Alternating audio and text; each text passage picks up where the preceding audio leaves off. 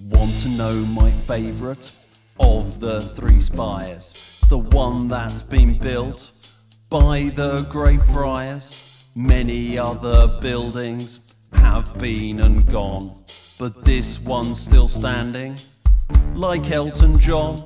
Take a wandering band of Franciscan monks, add Cheylesmore Quarry sandstone chunks. You've got a lovely tower, a classic design, but boy was it born under a bad sign. King Henry came, it got awkward, the monastery went, replaced by an orchard. The rest of the church came tumbling down, but the spire was left untouched by the crown. What followed with lean times, I won't deny, turned into a store and a pigsty. They added a new church, a gorgeous one, got flattened in a Nazi bombing run, but the spire still stands where it's always been somewhere between lonely and serene. A building of dramatic starkness as invincible as Captain Jack Harkness.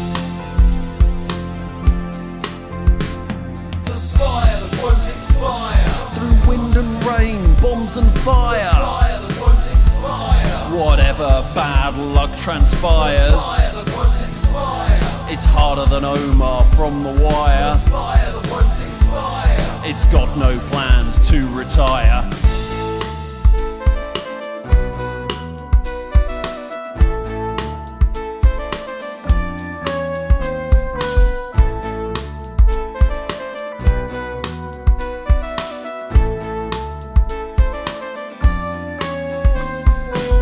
Built by a bunch of clever geezers so it doesn't lean like the one in Pisa, withstanding hurricanes and storms. See, that's the beauty of your cruciform.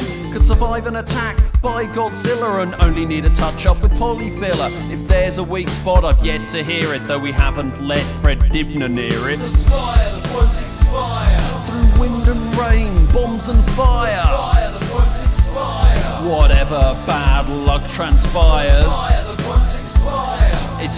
Omar from The Wire.